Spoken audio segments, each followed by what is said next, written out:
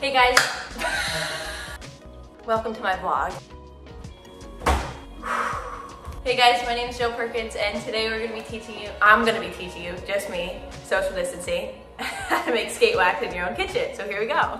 You're gonna need like a generous cup of paraffin wax because it melts down nicely and it's a good consistency for the wax. You're gonna need two teaspoons of butter, one teaspoon of like a cooking oil or a kitchen oil. You're gonna need a crayon, something or food dye, but crayon's the cheapest and easiest way to color the wax if you wanna add color.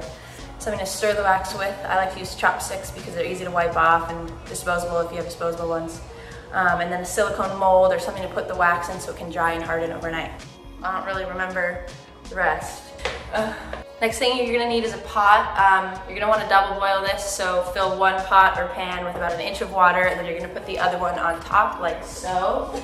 Ta-da. Um, so what I'm gonna do is I'm gonna add the paraffin wax to the pot. As the wax heats up, it's gonna melt, and you wanna make sure you stir it. Now if you're using candles or tea lights, you wanna make sure that they're chopped, the finer they're chopped up, the easier it is to melt and you'll have it sooner. The next thing I'm gonna do is cut up a little piece of this crayon. Um, you don't need a lot, just add the color.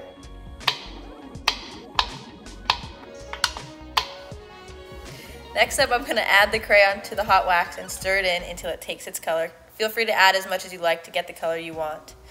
Then I'm gonna add the one teaspoon of vegetable oil and stir that in as well. Next up, you wanna slide the two teaspoons of butter into the crayon wax and give it a nice stir.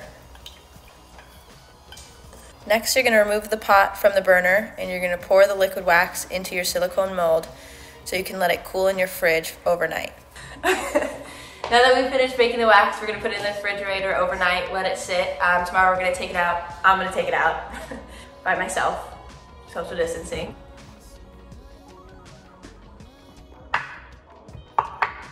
Thank you all for watching. Hope you're staying safe. I know a lot of places the skate are closed at the moment, so if you want to go wax up a curb or a ledge or something in your neighborhood, do that with the people that you're quarantining with or alone, six feet apart, stay safe. You got this.